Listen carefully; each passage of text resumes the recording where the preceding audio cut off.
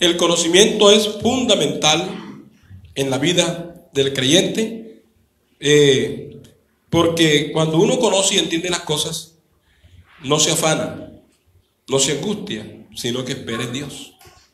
Espera en su misericordia, espera en su gracia. Por lo tanto, es importante entonces que nosotros tengamos conocimiento de las cosas. Mire que en algún momento la palabra de Dios dice que el Señor le dijo a la multitud, Jesús un día enseñando, le dijo a la multitud, dice, cuando veis la nube que sale del poniente, luego decís, agua viene, y así sucede. Cuando sopla el viento del sur, decís, hará calor, y lo hace. Entonces dijo, hipócritas, ¿sabéis distinguir estas cosas del cielo? Eh, el aspecto del cielo y de la tierra. ¿Y cómo no distinguís este tiempo? Entonces, a veces la gente se pone experto en conocer muchas cosas, muchas materias, en conocimientos humanos. Se pone experto en, muchas eh, artes de, para trabajar, para hacer, en historias, conoce muchas cosas. Pero lo otro es que el ser humano poco conoce de Dios. Poco conoce de Dios. Y lo poco que sabe, lo, toma de otra manera. Eh, no lo aprovecha, sino que lo tiene como que en segundo plano. Pero cuando uno conoce quién es Dios, vive por Él. Se preocupa por su palabra, por serle fiel, por obedecer su palabra. Es importante conocer y entender, que son principios fundamentales en la vida de todo aquel que conoce a Cristo. Entonces, cuando uno habla de lo que es conocimiento, quería desglosar un poquito. Conocimiento es la acción y el efecto de conocer, conjunto de saber sobre un tema o sobre una ciencia. Eso es lo que es conocimiento. Lo otro, Entendimiento es inteligencia o, razón. Eso es lo que es entendimiento. Y la inteligencia es la capacidad de entender las cosas tal como se dicen. Esa es la inteligencia. Capacidad de entender las cosas tal como son o como se dicen. Esto es haciendo como eh, un poco de claridad y desmenuzando esa expresión de lo que es entendimiento, ¿sí? Entendimiento y conocimiento. Glorificado es el nombre del Señor Jesús. Así que debemos tener en cuenta algunas cualidades que son propias del entendimiento y del conocimiento en el Señor Jesús. La Biblia nos habla mucho acerca de, de este tema y por toda la Biblia y sobre todo en el Nuevo Testamento el Señor recuerda mucho acerca de, entender y de conocer. Y cuando él oró por sus discípulos, dijo, que te conozcan a ti, el único Dios verdadero, y a Jesucristo, a quien has enviado. Entonces, eh, qué bueno es que nosotros conozcamos a Jesús. Por eso dice, el que me ha visto a mí ha visto el Padre. O sea, ya el que me conoce a mí, conoce quién es el Padre. Nosotros conocemos quién es Cristo, pero sabemos que Él es el Padre. Él es el único Dios que vive y permanece para siempre. Glorificado sea su nombre. Entonces es necesario y debemos tener en cuenta esas cualidades que son propias del entendimiento y del conocimiento en el Señor Jesús. La Biblia habla, por ejemplo, los ojos del entendimiento. Mire esa expresión, los ojos del entendimiento. Quiere decir la lucidez de ver las cosas con claridad, los ojos del entendimiento. O sea que cuando uno entiende las cosas de Dios, es como si las estuviera viendo. Es como si las estuviera viendo. Por eso ahí dice los ojos del entendimiento. ¿Sí? Lucidez de ver las cosas con claridad y poder comprenderlas tal como son. Entonces, eso es importante. los ojos del entendimiento. Pablo habla sobre eso en el capítulo 1 de la epístola a los Efesios. Allí él está explicando acerca de lo que es esa lucidez, esa claridad de entender las cosas porque se ven con los ojos del entendimiento que Dios nos ha dado. Y cuando tú ves las cosas con lucidez, con claridad, puedes hablar de ellas, puedes explicarlas, porque tienen claridad de lo que estás diciendo, porque lo estás viendo, viendo. El verso 18 del capítulo 1 de Efesios, dice el apóstol, hablando del espíritu de sabiduría y revelación, dice, para que el Dios de nuestro Señor Jesucristo, el Padre de gloria, os dé espíritu de sabiduría y de revelación en el conocimiento de Él.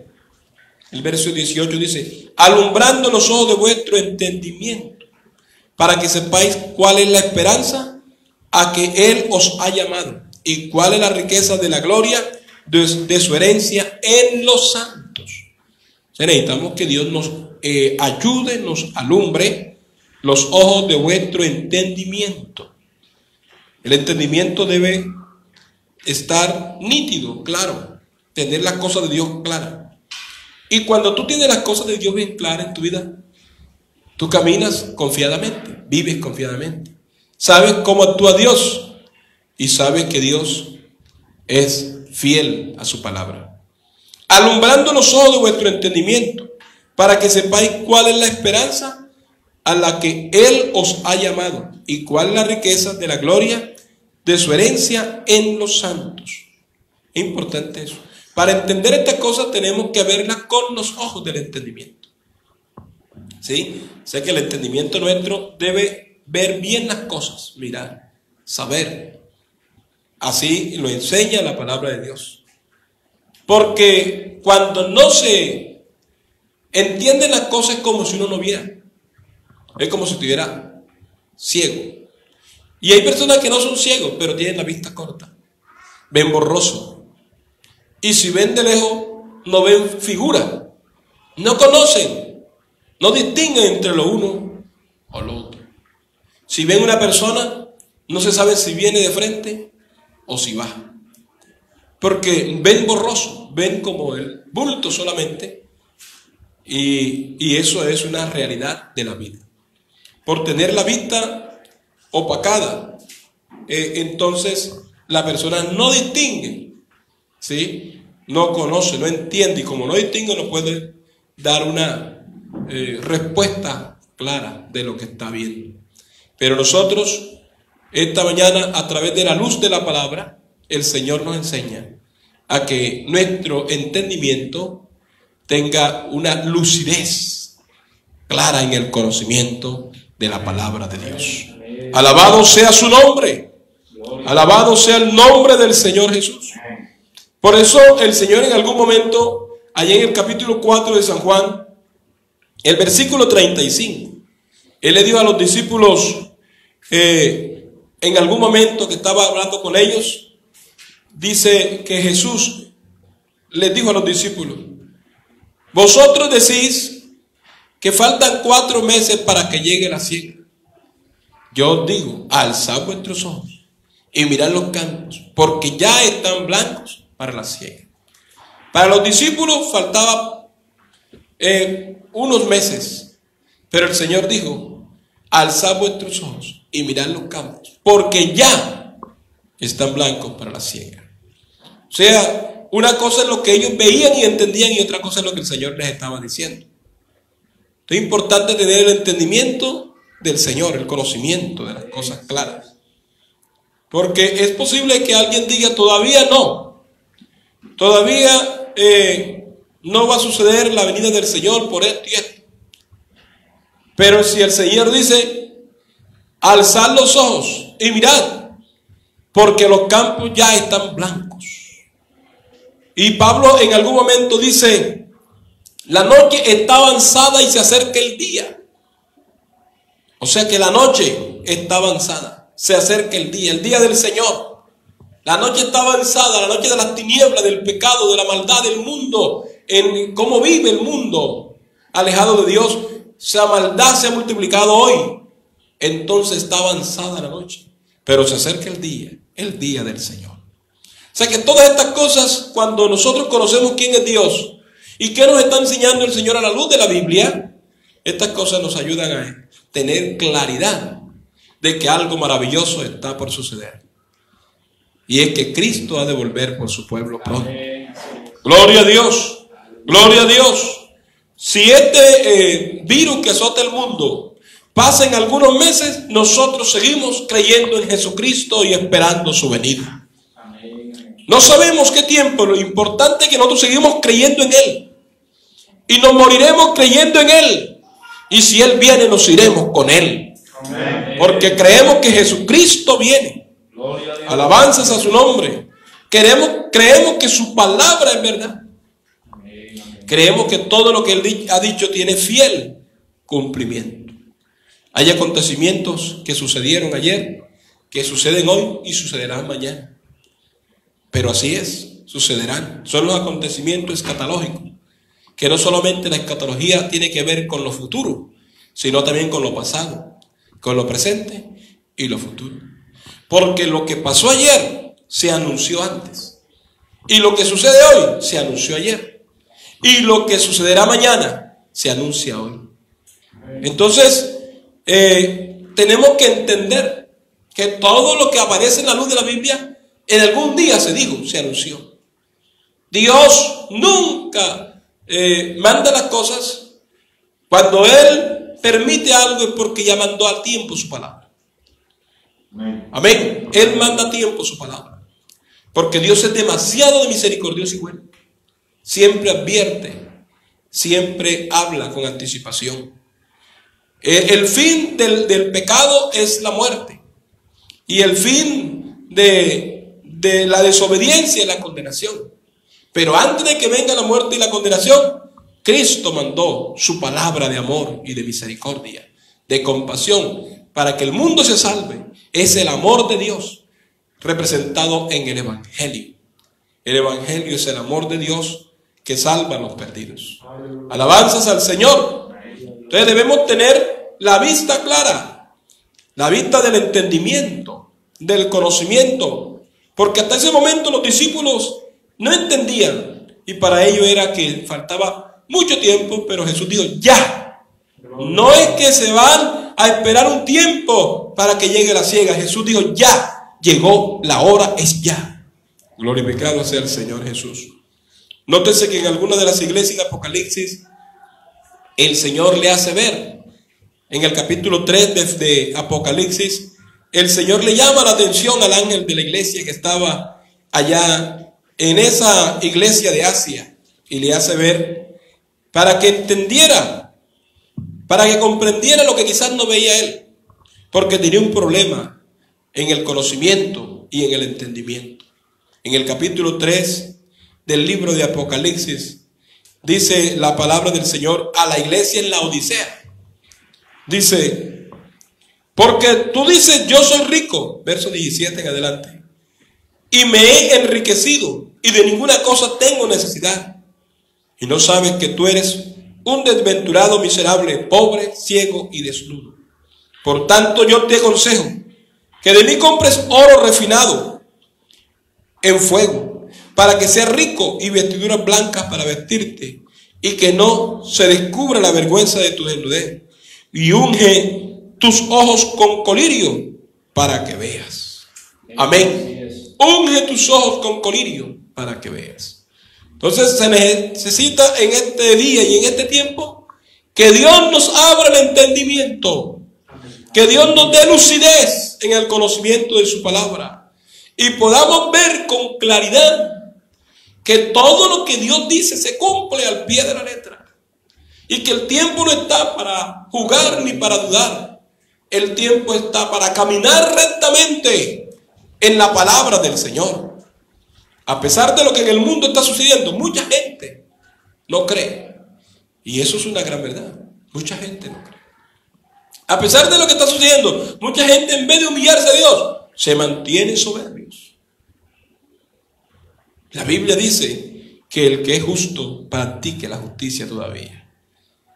El que es injusto que vive en su injusticia. Pero nosotros que tenemos al Señor y el conocimiento de su palabra, todas estas cosas nos dan señales.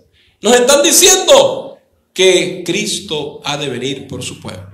Es que no podemos decir otra cosa sino que Cristo viene por su pueblo. Me acuerdo de una expresión de un himno que dice, la venida de mi Cristo fin será para el dolor.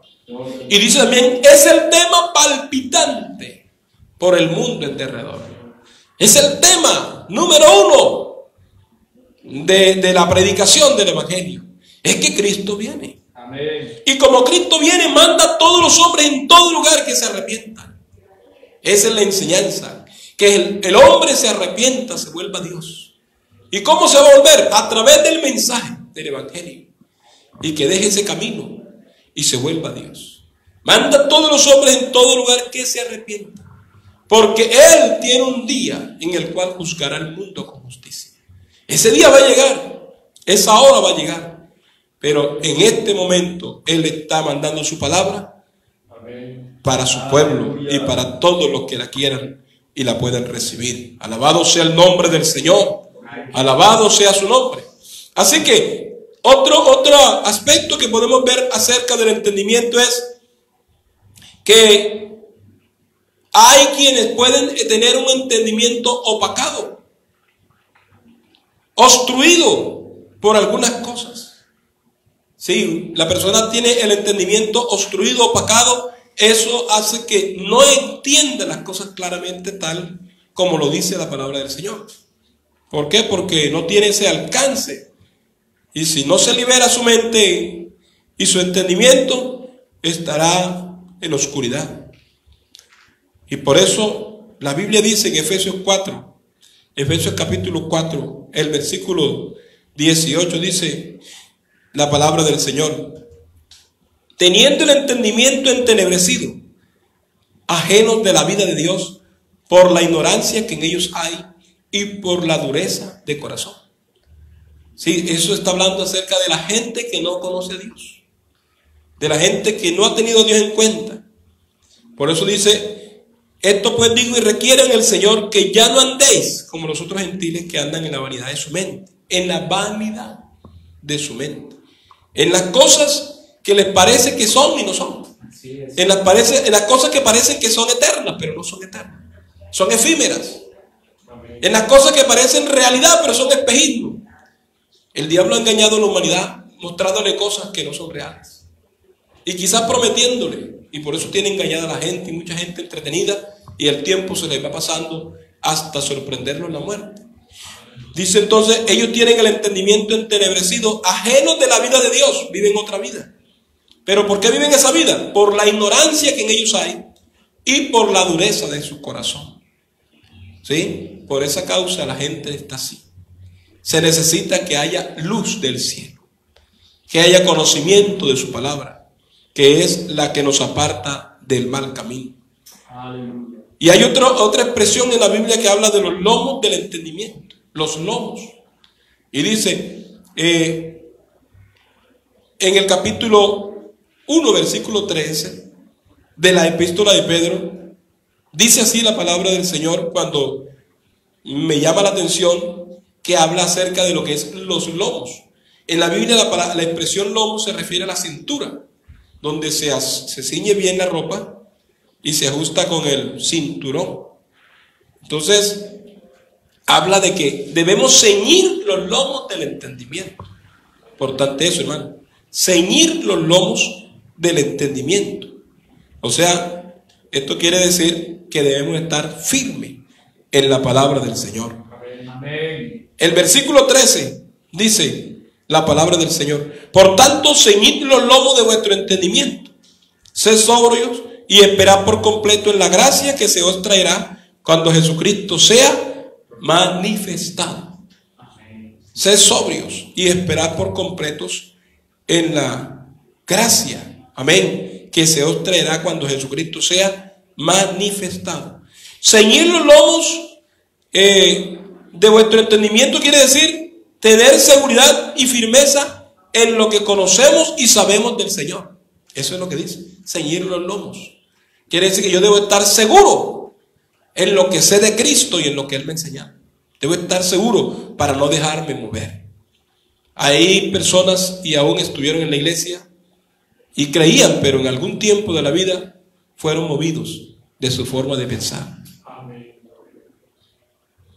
¿Y dónde están hoy? Hoy están perdidos. Porque se inventaron su propia religión y hoy ni religión, ni evangelio, ni nada. Están frustrados, rebeldes y solos. Porque el diablo los engañó. Porque no estaban bien ceñidos los lomos del entendimiento. ¿Saben que el apóstol Pablo cuando habla de la vida del cristiano dice que debemos estar vestidos de toda la armadura de Dios? Y una de las vestiduras es que debemos estar ceñidos los lomos con la verdad. Amén, con la verdad. Uno tiene que estar bien ceñido porque se levantarán, dijo el Señor, falsos cristos, falsos maestros, falsos apóstoles, falsos profetas, falsos hermanos. Y del mundo está lleno de eso.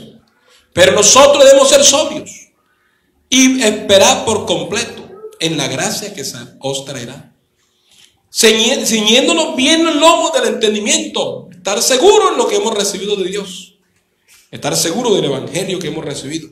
Y cuando estamos bien ceñidos, estaremos vestidos de toda la armadura de Dios. Para que podáis resistir en el día malo. Eso quiere decir que hay un día malo. A mí sí me llama la atención cuando la Biblia habla sobre eso. Porque nótese que cuando habla del que estaba edificó en la roca y en la arena, vino un día malo. Vino un día malo.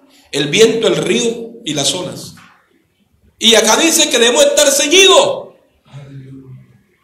Porque viene el día de la prueba, de la aflicción. Pero si tú estás bien vestido de la vestidura de Dios, podrás resistir. Si estás edificado en la palabra, podrás resistir. Nada te va a mover. Podrás estar firme y seguro. Por eso es importante el conocimiento en el cristiano. Conocimiento de la palabra. Y entendimiento de lo que el Espíritu Santo nos dice. Un entendimiento en la vida nuestra debe ser limpio. Porque hay entendimiento y conocimiento que no son limpios. Que no son puros. Eh, por eso nosotros, hoy que estamos en el Evangelio, entendemos lo que no entendíamos. Y podemos decir que Cristo nos liberó. Porque nos sacó de la mente mucha cantidad de, basura, podemos decirlo. Porque creíamos cosas que hoy día, cuando la miramos a la luz de la Biblia, porque es la luz del Señor, dice, ay Señor, si estábamos era totalmente perdido. Porque teníamos un entendimiento sucio. Un entendimiento lleno de, solamente de conceptos humanos. Y muchas cosas de esas eran influenciadas por el mismo diablo. Que nos había hecho creer cosas para que no creyéramos en, en el Señor. Así que debemos tener un entendimiento limpio. Y un entendimiento limpio es el que permanece en la obediencia de la palabra del Señor. Y no está polarizado de ideas, ideas terrenales, carnales, o teorías y filosofías de hombres, conceptos humanos. Se necesita que nosotros tengamos un entendimiento limpio. Sí, porque hay hoy día existe mucha gente que cree en teología, que cree y habla de Dios, pero tiene un entendimiento no limpio. Pareciera que fueran, pero no son. Y enseñanzas que pareciera que fueran de Dios, pero no son.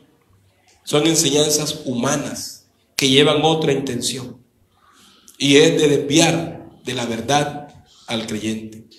Pero nosotros necesitamos tener esta mañana la luz de la Biblia un entendimiento claro, limpio. Alabado sea el nombre del Señor. Y cuando tenemos ese entendimiento limpio, nada de esas cosas nos harán daño. Todo lo contrario, ante el conocimiento de la palabra de Dios, esas ideas se van al suelo.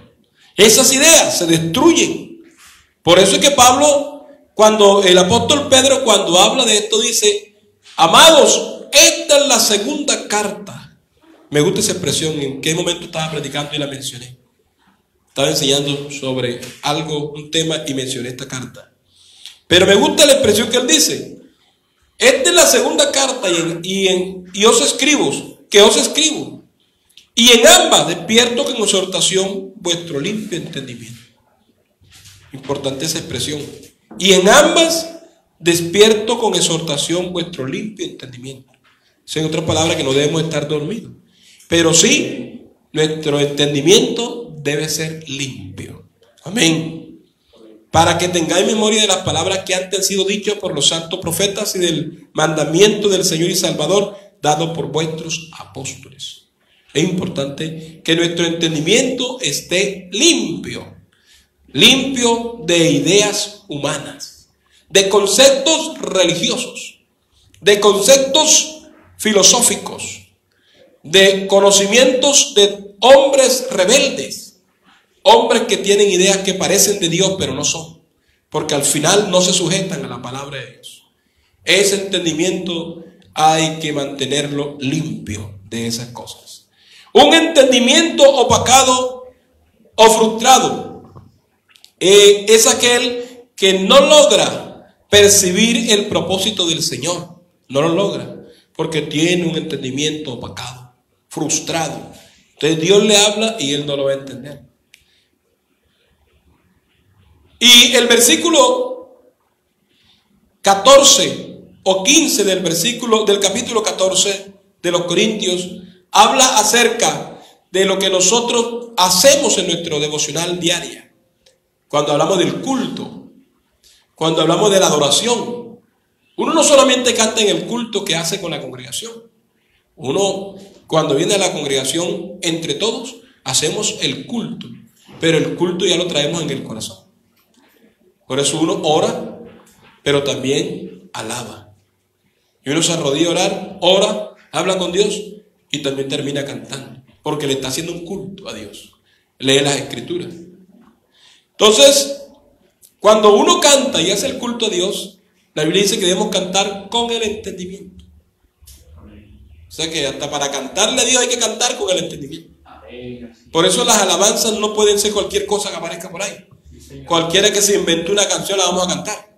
Hay canciones que la gente las hace para buscar fama, para que se venda en el mercado y ganar plata.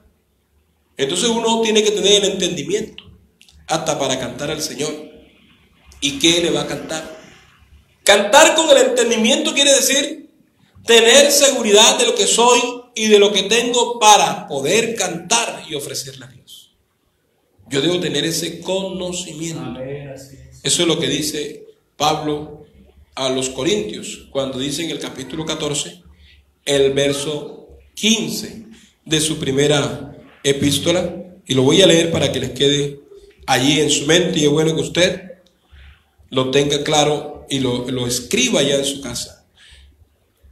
Dice el versículo 15. ¿Qué pues? Oraré con el espíritu, pero oraré también con el entendimiento. Cantaré con el espíritu, pero cantaré también con el entendimiento. Importante que lo tengamos claro, hermanos. Si nosotros oramos, debemos orar con el entendimiento. Así dice pues oraré con el, en el espíritu, pero oraré también con el entendimiento. Cantaré con el espíritu, pero cantaré también con el entendimiento. O sea que todo lo que uno hace debe hacerlo con el entendimiento, claridad. Delante de quién está y a quién está alabando. A quién le ofrece el culto.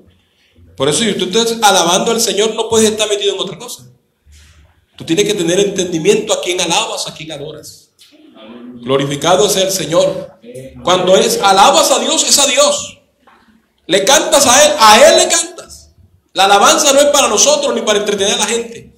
La alabanza es para glorificar, exaltar y bendecir el nombre del Señor Jesucristo. A Él sea la gloria. Los ángeles le adoran a Él. Y todos los seres eh, vivientes que están en el cielo le adoran, le alaban. Cuanto más los redimidos por la sangre del Cordero. Nosotros tenemos un cántico nuevo en nuestro corazón y en nuestros labios que Cristo nos ha dado por habernos rescatado, por habernos liberado con su preciosa sangre. Él ha puesto un cántico nuevo. Y, y, cuando uno canta al Señor, debe cantar pensando en que yo estoy más que agradecido con el Señor. Y la alabanza que sale del corazón y de los labios debe ser de gratitud por la sangre que se derramó a favor nuestro. Alabado sea su nombre. Amén. Gloria a Dios. Así que el entendimiento es fundamental y el conocimiento en la vida cristiana. Si Israel algún momento tropezó fue porque le faltó conocer.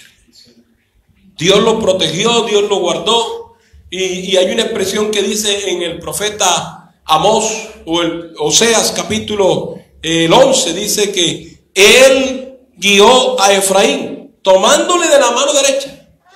El verso 4, 3 y 4 dice, y yo mismo le tomé por la mano y lo guié y él no conoció que yo le guiaba. No conoció.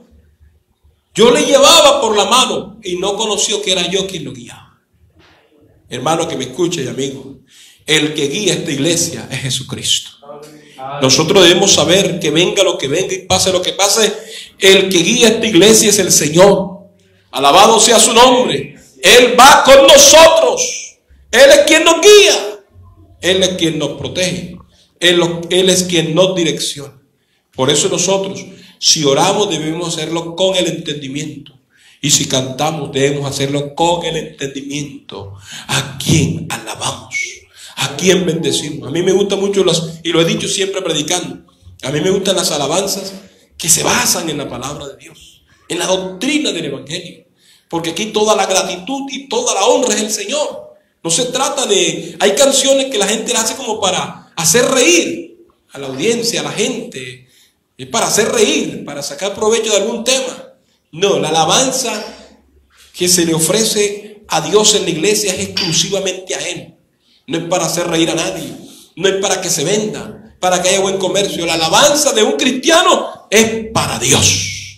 La alabanza de un cristiano es exclusivamente para Él.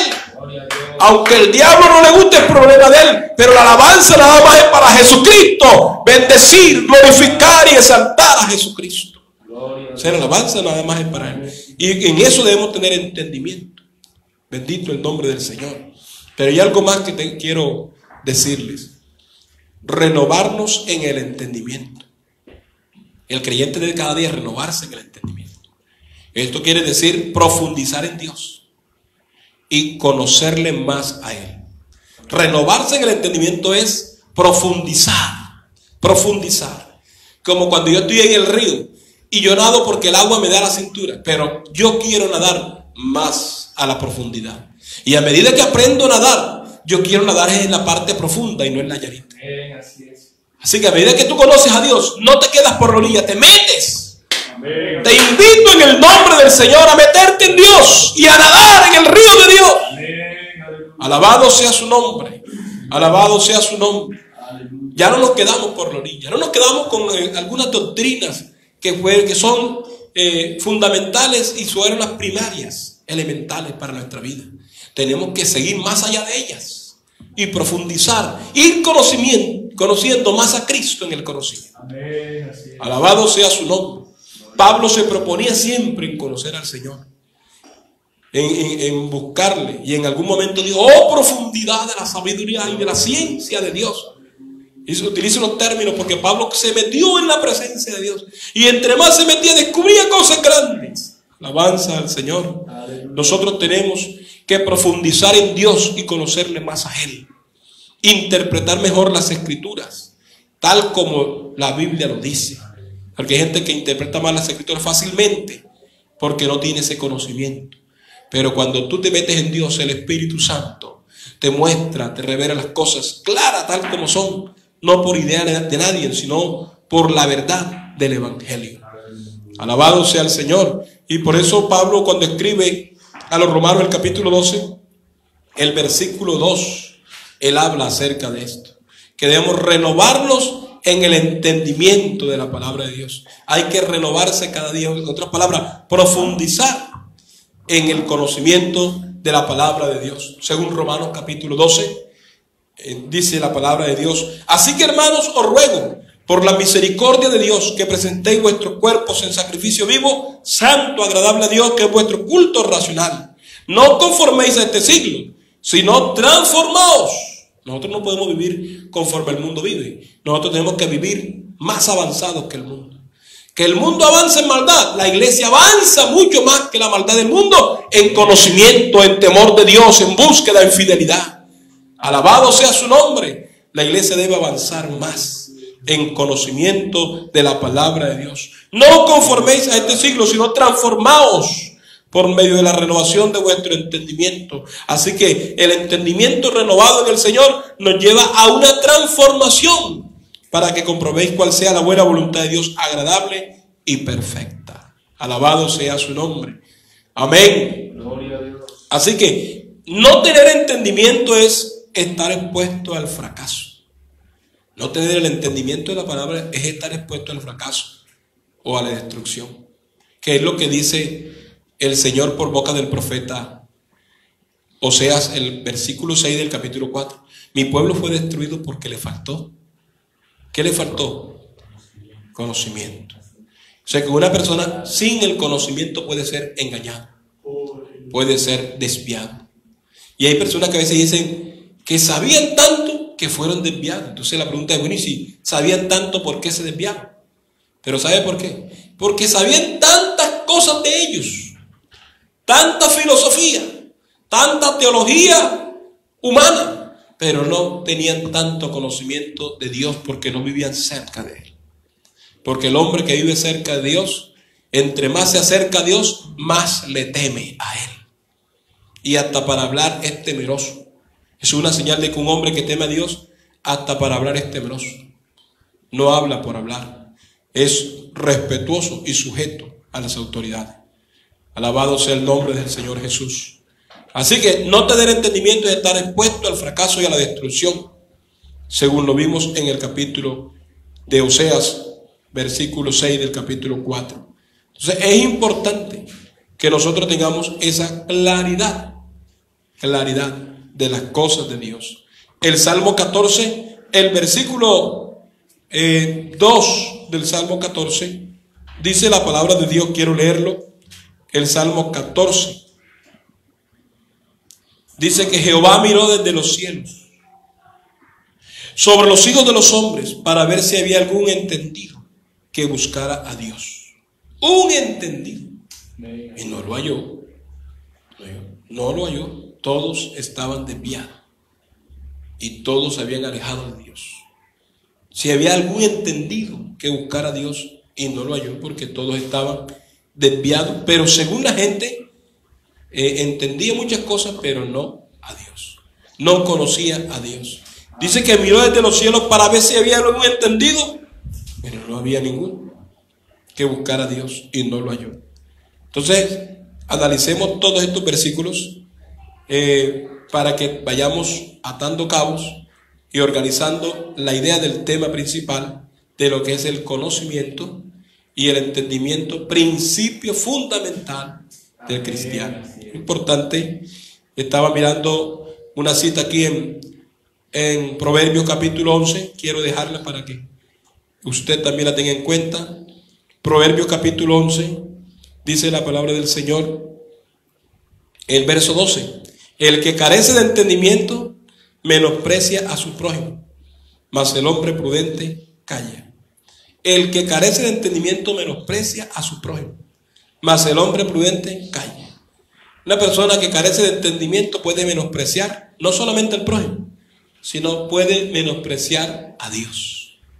Puede, puede menospreciar su palabra, porque le falta el entendimiento. Pero cuando tú conoces quién es Dios, tú no desprecias su palabra. Si despreciamos, despreciamos la maldad, despreciamos el pecado. Pero al ser humano no lo despreciamos. Tenemos misericordia del, prójimo, del semejante, porque tenemos el conocimiento de Dios que dice que amemos a los seres humanos, que tengamos compasión como Cristo tuvo compasión. Cuando vio a la multitud tuvo compasión, porque eran como ovejas descarriadas sin pastor. Porque de tal manera amó Dios al mundo. Ese es el amor verdadero de Dios para con la humanidad. Y lo mostró en Cristo Jesús.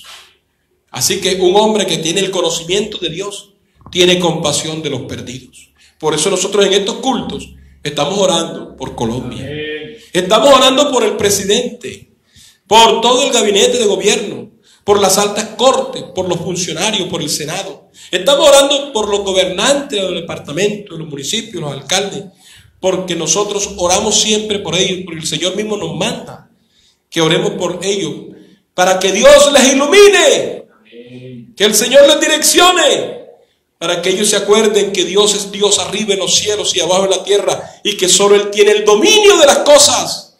Y Él es el único que puede darle solución a este problema que azota el mundo. En Dios está la esperanza y la solución.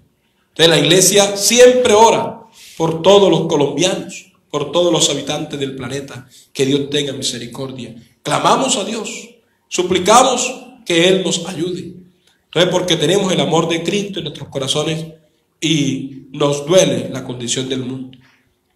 Así que meternos en Dios es importante para comprender y saber más de Dios, aún en los tiempos difíciles.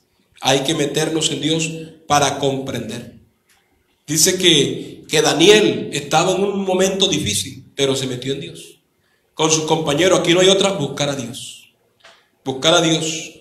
Y como predicaba ayer, no había, no había, oiga bien, jóvenes, le predicaba a los jóvenes, no había eh, para leer las escrituras pues se la habían quitado. No tenían forma de hacer culto, porque estaban en tierra extraña y con religión diferente, pero ellos no cambiaron a Dios. Ni dejaron de hacer el culto, ellos lo hacían en su casa. Daniel se encerraba como estamos nosotros en este tiempo y hacía su culto. Daniel oraba, meditaba, buscaba a Dios. Y habló con los compañeros y aquí dijo, nosotros no vamos a hacer lo que dice el rey. Eso atenta contra nuestros principios. Y no debemos hacerlo. La palabra de Dios estaba en sus mentes, en sus corazones. ¿Y qué hicieron ellos? Se pusieron de acuerdo en buscar a Dios. Y en algún momento dijeron, no comeremos esa comida, comeremos agua y legumbre. Pero eso es imposible que ustedes se van a... No, denos agua y legumbre. Tuvieron fe en el Señor. Pero no nos vamos a contaminar. Y dice que al pasar de los tiempos, de los días, el rostro de ellos, la salud de ellos, estaba mejor que la de los demás, que comían de las comidas del rey. Y ellos no comieron de la comida del rey, comieron comida que aparentemente no era la mejor, agua y legumbre. Pero ellos confiaron en su Dios y Dios los sostuvo. Y a la prueba de todo fue que salieron mejor que los demás. Porque los que conocen a Dios saben que Dios no falla. Saben que Dios es fiel. Si conocemos quién es Dios, sabemos que Dios nos dará la salida. Dios nos dará la victoria y no dejará a sus hijos avergonzados. Es importante, estimados hermanos y amigos, y todos los que escuchan por estos medios, creámosle a Dios, conozcamos a Dios, porque Él es el único que nos puede ayudar hoy, mañana y siempre. En el capítulo 1 de Daniel, voy a leer este versículo para que quede en sus corazones y lo puedan también anotar. Gloria al Señor Jesús. A estos cuatro muchachos capítulo 1 de Daniel, verso 17. A estos cuatro muchachos Dios les dio conocimiento. Importante, por eso ellos no se dejaron engañar. A estos cuatro muchachos Dios les dio conocimiento. ¿Qué más les dio? E inteligencia en todas las letras y ciencia. Y Daniel tuvo entendimiento en toda visión y sueño. O sea, pero ¿por qué Dios le dio entendimiento y conocimiento? Porque fueron temerosos a la palabra de Dios. Las circunstancias, los momentos difíciles no los hizo cambiar. Se mantuvieron firmes. Buscaron a Dios y no cambiaron. Ese es el hombre que conoce a Dios. Y eran jóvenes. Y eran muchachos. Por eso, estimados jóvenes que estás en la iglesia hoy, que caminas con el Señor, estos no, estos momentos difíciles que se está viviendo hoy, no es para que nosotros desmayemos. Todo lo contrario, aquí es donde la fe se fortalece. Aquí es donde la fe se vuelve sólida, porque sabemos que Dios obra en la dificultad. Dios obra en la adversidad. En los momentos difíciles Dios se muestra. Y yo creo que Dios está haciendo algo con la iglesia en estos días. Dios está haciendo algo poderoso con la iglesia. Dios está manifestando su poder en la familia. Dios está haciendo una obra en, en las parejas, en los esposos. Dios está haciendo una obra aún en los amigos. que creen, pero que todavía no se han entregado, Dios está tratando con todo, porque Él tiene un propósito y es que Él quiere salvar un pueblo para su gloria a través de su palabra. Y estos días nos están haciendo acercarnos más a Dios. Alabado sea su nombre. Alabado sea su nombre. Así que debemos aprender a pedirle al Señor que nos dé sabiduría. Él es el único que nos puede dar sabiduría en todas las cosas. Tener esa convicción que es el Señor quien nos da el entendimiento y la sabiduría para entender las cosas. Creer en el entendimiento y el conocimiento del Señor para ser capaces de luchar, soportar y entender los ataques que el diablo tiene y contrarrestarlos con la palabra del Señor Jesús. Estimados hermanos, esta mañana Dios me puso en el sentir de compartir este tema con ustedes. La importancia de conocer y de entender en el temor de Dios quién es nuestro Dios y por qué están sucediendo estas cosas. No es para que nos vayamos a lamentar y alguien vaya a renegar. No, el hombre que conoce a Dios no reniega. El hombre que conoce a Dios no se queja sino da gracias. ¿Y por qué tanto tiempo estamos encerrados? ¿Hasta cuándo? Lo sabe el Señor. Pero el hombre que conoce a Dios y entiende por qué Dios permite las cosas, le da gracias a Dios. Elías estuvo escondido en la cueva, pero hasta el día que el Señor le dijo, sal, salió. Oh bendito el Señor Jesús. Debemos escondernos en la mano del Señor. Oh, hay promesas para los que están en sus manos. Hay promesas para los que guardan su palabra. Hay promesas de Dios que nos abrigan, que nos protegen, que nos amparan. Nosotros tenemos que seguir confiando en esa palabra. Y esa es la palabra que nos da el crecimiento y la solidez. El Evangelio no es emocionalismo. Hay gente que quiere mostrar un emocionalismo. Cuando la persona brinca y salta y hace una cosa, después se cansa al pasar de los días se le quita todo afán de brincar. El Evangelio no es emocionalismo. El Evangelio es convicción. El Evangelio es seguridad. El Evangelio es firmeza. El Evangelio es poder de Dios. Y el que camina en este Evangelio está estable. Hay alegrías, es verdad, pero el que está en el Señor vive más allá de las alegrías. Las alegrías son momentáneas, pero el gozo del Señor es para siempre. El gozo del Señor es duradero porque ese es el gozo del Espíritu. Amén, que debe estar en nosotros en nuestra fortaleza en medio de las dificultades. El gozo del Señor es el que nos fortalece. No son las emociones, es el gozo del Señor, es su palabra. Que aunque estemos llorando, decimos, pero Él ha prometido estar con nosotros. Y Él nos va a ayudar. Y Él nos dará salida. Él es fiel y nosotros sabemos que Él es fiel. ¿Usted lo cree, hermano? ¿Usted lo cree, hermano? ¿Usted lo cree, joven? Amigo. Oh, yo te invito a que abras tu corazón a su palabra y le digas, Señor, yo quiero conocerte más. Yo quiero estar más cerca de ti y caminar en tu verdad. Nadie podría caminar en el Evangelio si Dios no le hace entender lo que hoy nosotros entendemos. Y cuando tú entiendas esto, jamás te volverás al mundo. Entonces seguirás a Cristo y dejarás el mundo. Hay gente que dice, pero ¿cómo tú dejaste el mundo? Gloria a Dios un cantante de nuestra iglesia grabó una canción y en alguna de ellas dice que los amigos le dijeron que se había acabado. Que se había acabado porque allá había dejado fama, dinero y placer. Pero él dice, no, no me acabé, sino porque conocí la verdad. Gloria al Señor Jesús. Y la verdad lo hizo libre. Porque el conocimiento de Dios es más que dinero es más que plata y es más que fama. El conocimiento de Dios es vida eterna. Alabado sea su nombre. Cuando tú conoces quién es Dios, no te dejas por las cosas de esta vida desviar de la verdad. Permaneces en la verdad. El conocimiento de Dios permanece para siempre. Y el hombre que se afianza de su conocimiento también vivirá para siempre. Así que bueno que le conozcamos y sepamos que Él es nuestro Dios y es nuestro Salvador. Caminemos todos en la verdad y andemos en la verdad. Como dijo Jesús, que te conozcan a ti. Es importante que todos conozcamos que el Señor nuestro Dios es bueno, que el Señor nuestro Dios es misericordioso. Y como dice el himno, alguien va conmigo de la vida en el correr. Alguien me, me guía, alguien me cuida, alguien me protege, alguien me direcciona. Aún mis pasos me dice por ahí no, por aquí sí. Alguien me lleva de la mano y ese alguien es Jesucristo. Él cuida de nosotros. Y tú debes saber, estimado hermano, que el que te guía es el Señor. El que te guarda es el Señor. El que te sostiene es el Señor. Efraín no se dio cuenta que Dios lo direccionaba y lo cuidaba. Pero esta iglesia sabe que quien la guía es el Señor. Quien la sostiene es el Señor. Quien la protege es el Señor. Y quien la llevará al reino de los cielos es el Señor Jesucristo. Ahí donde está, le invito a colocarse de pie en el nombre del Señor Jesús. Te invito, estimado amigo, si puedes creer esta mañana, te invito también a que te coloques de pie. Oh, dobles tus rodillas.